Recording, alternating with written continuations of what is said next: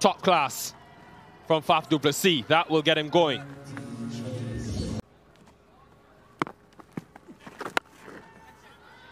There was a man in the deep on the onside, but he has no chance, and it's all about the placement. Trinbago. Swatted in the onside.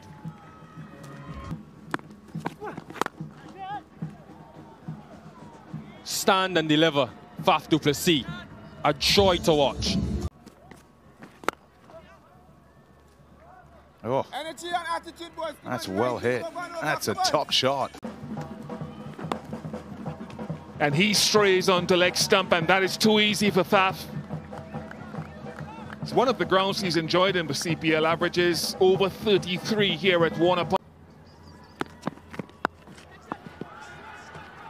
No chance for Narayan there. It's been a while since I've seen Faf play the shot once a short fine leg is up.